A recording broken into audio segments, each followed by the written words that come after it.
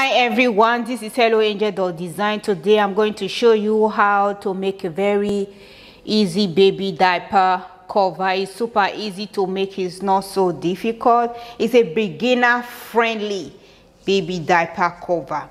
For the waistline, I add about 5 centimeter and you can see my two stitches where I put my elastic. For the leg hole, I add about three and a half centimeter and you can also see my two stitch line where I put my elastic. It's super easy to make it's not so difficult. If you're a beginner you will really enjoy making this baby diaper cover. And it's for 12 to 18 months. I will upload the pattern paper on my website. You can go there and print out your pattern paper and make yours for yourself Please support by subscribing and also click the notification bell so that anytime I upload new video, you will be the first to be notified.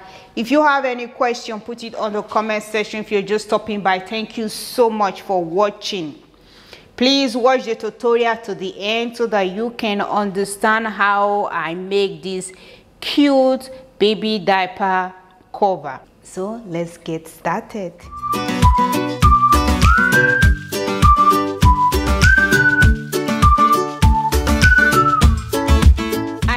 Already cut my fabric. This is how it is. And what you have to do you just open your fabric like this. Both front of the fabric are facing each other. This is the front and this is the back. So I put them into two like this. Instead of me cutting four pieces I just cut two pieces two pieces of fabric together. So what you're going to do you are going to pin them together. Take the front just spin it all the way down to this end right here. And you come to the back you just go ahead and pin it all the way down to this end. So go ahead and pin that in place and then we can take it to our sewing machine and top stitch. Once you have done pinning take it to your sewing machine give it a top stitch all the way down to the end right here. You also come down to this point give it a top stitch all the way down to the end right here. Once you have done stitching take it to your overlocker overlock the raw edges or use zigzag to overlock the raw edges. My seam allowance is one centimeter. So go ahead and top stitch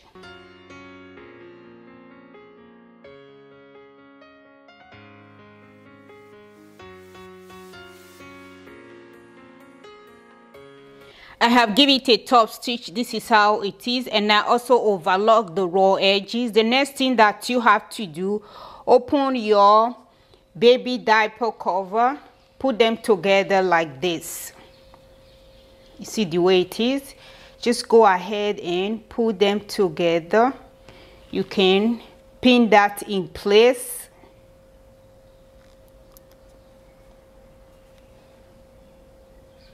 continue pinning. I have pinned it in place. This is how it is right now. The next thing that you have to do take it to your sewing machine give it a top stitch all the way down. My seam allowance is one centimeter. Once you have done with that also go ahead and overlock the raw edges or use zigzag to overlock the raw edges. Once you have done with that also take your waistline to your jaw or your overlock sewing machine. Go ahead and overlock the raw edges of the waistline and you will also overlock the raw edges of the leg hole.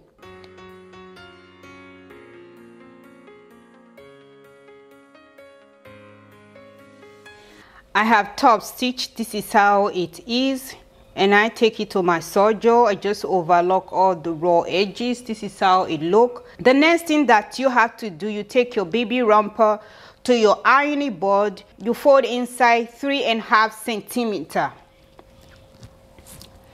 So you put your measuring tape you fold inside three and a half centimeter. Make sure you press it very very well. And you just go ahead and make sure you measure it all around and you come to the other leg hole you do the same thing. Measure inside three and a half centimeter. For the waistline you also go ahead measure inside five centimeter. So when you're doing this make sure you measure it you just iron it all around. And you can also see that the waistline right here i take it to my serger i just overlock all the raw edges make sure you should do the same overlock all the raw edges or use zigzag to overlock all the raw edges and you do the same thing with the leg hole so what you're going to do First thing you're going to stitch very close to the overlock stitch thread.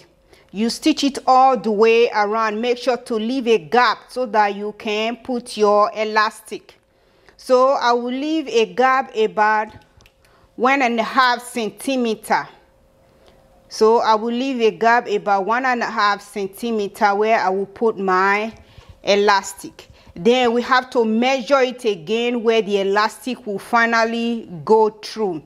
But first thing just go ahead and top stitch very close to the overlock stitch thread all around. And you do the same thing on the leg hole top stitch very close to overlock stitch thread all around. So go ahead and stitch that in place and then we can finally stitch it all over where we will put our elastic. I have given it a top stitch. This is how it finally look right now. This is how it is. The next thing that you have to do you take your measuring tape from the very top of your stitch line. This is my stitch line right here so you are going to measure one centimeter From the very top of your stitch line, you place your measuring tape right there. You measure one centimeter. You just go ahead and measure it all around the waistline. Once you have done that, take it to your sewing machine, stitch it all the way around. And then you come down to the leg hole. From the very top of your stitch line, measure up one centimeter and stitch it all around. You do the same thing with the other leg hole. Once you have done with that, take it to your sewing machine, give it a top stitch all around. This time you are not leaving any gap, you just stitch it all around. So this is my elastic that I'm going to put on the waistline and on the leg hole. My elastic is not up to one centimeter.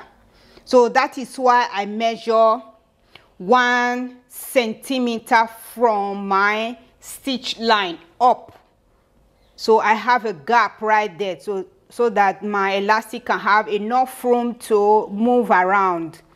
But if you are using uh, elastic that is bigger than the one that I'm using, make sure to leave a gap so that your elastic can move around when you're putting it on your baby diaper cover. So go ahead and measure that all around. From your stitch line measure all around one centimeter. You did the same thing on the leg hole. Take it to your sewing machine give it a top stitch all around. Once you have done with that then we can put our elastic inside this gap that we left open that is why we left this gap open at the first place when we stitch it all around. So go ahead and stitch that in place. I have given it a top stitch.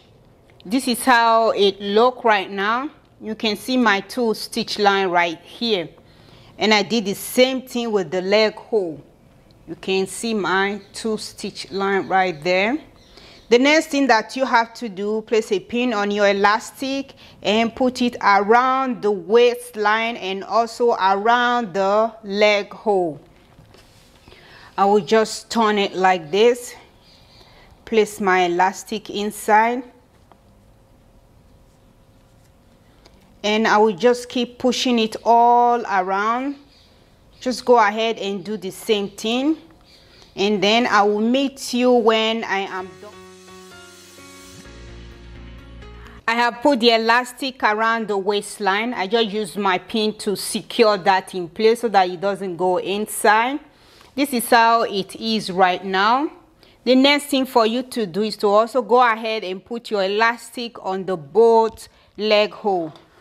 Place your pin inside and remember your open gap. Just go ahead and put your elastic around the leg hole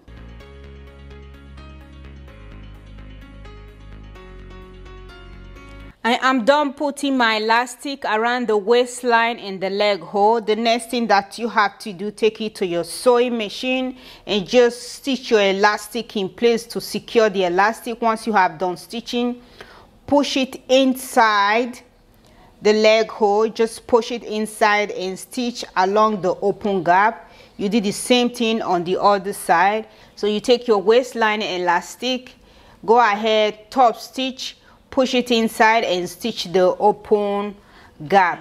The measurement of my elastic the for the waistline i measure 18 inch. For the leg hole i measure 11 inch. This baby diaper cover that i'm making right here is for 12 to 18 months. So go ahead and stitch your elastic in place and stitch around the open gap I have stitched it in place. This is the final look of this baby diaper cover or you can also call it baby diaper bloomer. Thank you all so much for watching. If my tutorial has been helpful, thumbs up, make a comment down below if you have any questions. And you all should have a blessed day. Bye.